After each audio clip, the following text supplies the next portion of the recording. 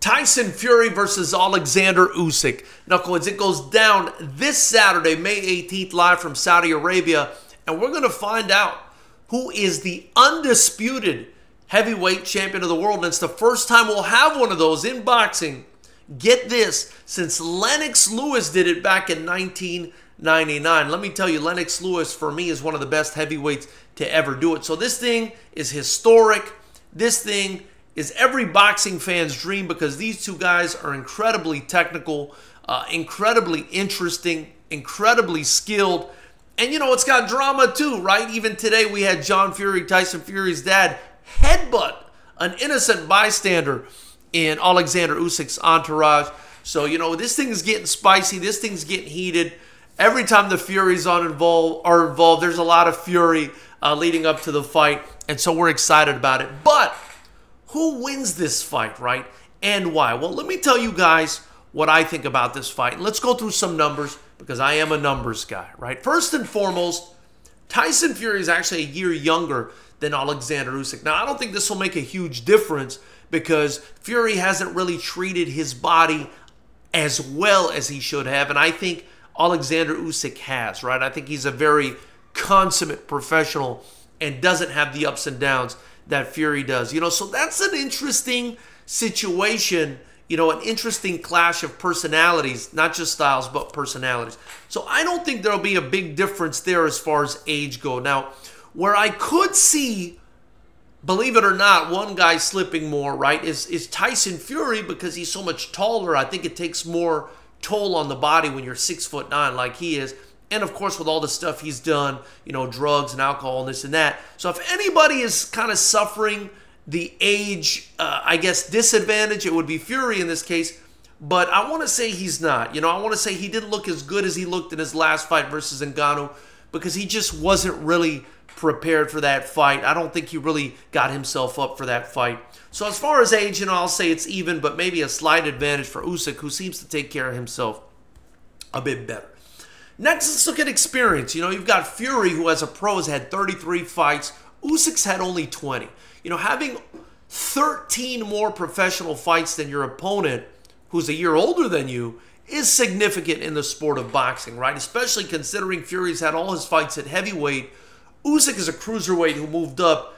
Despite the fact that he unified cruiserweight, and I'm very impressed by that, he is still a cruiserweight moving up, right? So obviously you got to give the experience advantage to Tyson Fury. Now I would imagine perhaps Usyk had a lengthier amateur uh, experience, but we're doing pro boxing here. We're not doing amateur boxing, and so I got to give Tyson Fury the experience edge in this one, right? Also, you know Tyson Fury's had 23 knockouts.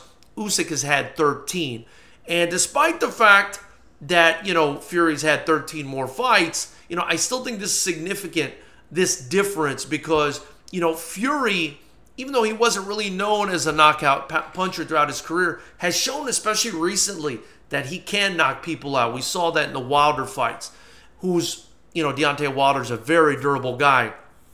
So I think, you know, Fury not only has the experience advantage here, I think he has the power advantage as well, right? We haven't really seen Usyk you know, really knock somebody out, hurt them really bad at heavyweight, as far as I can remember. I mean, the last devastating shot I saw him land on someone, I want to say was probably against Tony Bellew, guy I really like a lot. But you know, that's that's as far as it goes. I think Fury definitely has the power advantage in this fight, right? And that's a great segue into the reason he probably has the power advantage because he's also got the leverage, right? Because he's got the height and the weight. I mean, Fury is going to be the much bigger man on the night. Six foot nine is what he's listed at. Now I don't know how accurate that is. I feel like he's probably closer to six six, six seven. I would love to see him get measured, you know, because I feel like when he fights opponents uh, that are close to his height, they seem a bit taller, and he doesn't seem to be six foot nine. But he's going to be the much bigger man on the night, whether he's six seven, six foot nine, whatever it is. Usyk's only six three, um, and so Fury is going to be the much taller guy. And get this the reach advantage is seven inches for Tyson Fury, an 85 inch reach for Tyson Fury versus just 78 inches for Alexander Usyk. Now, 78 inches is not, you know, a bad reach or wingspan by any means, But 85 inches is absolutely ridiculous, right? The other thing we got to look at is it's an orthodox fighter in Fury taking on a southpaw uh, in Usyk, which will make things very interesting as well. You know, uh, they kind of have each other's kryptonite, uh, if you will, in their straits, right? So, to be an interesting fight. But I just see Tyson Fury having a lot of physical advantages in this fight, right? The other thing is, you know, I think the way Usyk wins this fight is through athleticism. But is he really going to out athlete Tyson Fury? I just don't think so. I think Tyson Fury's movement is as good as Usyk's movement. I really do. I just think, and this is me believing this personally, right? And I have a lot of conviction in this. I think Usyk's style, as amazing and interesting as it is, requires a lot of energy. And I don't think it's as effective in dealing with range as Tyson Fury's style, right? I think Tyson Fury does not have to expend all the energy fighting a much shorter guy in Usyk, who is going to have to expend a lot of energy in getting to Tyson Fury and getting around that reach, right? I think Fury's going to sit back. I think Fury's going to pick his shots. I don't think he's going to be worried about the power that's coming back at him because Usyk is not really known for that power. On the other hand, Usyk is going to have to constantly work to get around Tyson Fury and his jab. And he's going to have to worry about the power from a 280, 290, 275 pound, whatever he is, six foot nine man. Now, Fury looks to be in great shape in this fight, so he might be in the 270s, maybe even 260, but I doubt it. I would say around 270, but it's still it's still going to be way way heavier, way way bigger than Alexander Usyk. And when you're talking about all the leverage that's coming in from a guy weighing that much that has an 85 inch wingspan, you know, he's a nightmare to deal with. And then on top of it, on top of it, Fury can move. He's athletic and he can move. So for me, knuckleheads, you know, as much respect as I have for Usyk, as much as I admire his style, what he's done in unifying at cruiserweight, coming up to heavyweight, and beating Anthony Joshua, I don't believe he's fought anyone as tall as Tyson Fury, as skilled as Tyson Fury, and that understands how to use distance and manage range the way Tyson Fury does.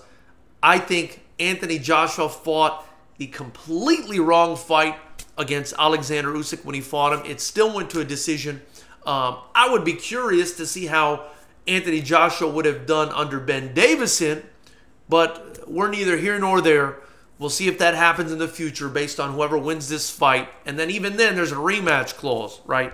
At the end of the day, my prediction for this fight Tyson Fury wins by decision or by late stoppage, right? That's what I'm predicting here. I think he could catch Usyk to the body and get him out of there the way we saw Daniel Dubois really hurt Usyk to the body, or I think Tyson Fury just outpoints him by sitting back and just touching him whenever he wants, while Usyk tries and tries and tries, and in my opinion fails to get to Tyson Fury using his footwork because of, you know, he's going to be at such a huge reach disadvantage. So knuckleheads, tell me what you think about this fight. Who do you think is going to win? Let me know in the comment section below. After you do that, like, subscribe, share this video, and join the channel. Help me continue to grow this channel. It's just $9.99. And we're going to keep growing and building the best striking show on earth, which is Fighters Rep. We've got Fighters Rep 23 on June 1st in Pompano Beach, Florida. Fighters Rep 24 on June 8th at the beautiful Commerce Casino in Los Angeles, California. Get your tickets at fightersrep.com or join the channel and watch the events live. I look forward to hearing what you guys have to say about this. Also, if you also want to support, hey, drop a super chat or get your merchandise in the link below. I look forward to hearing it.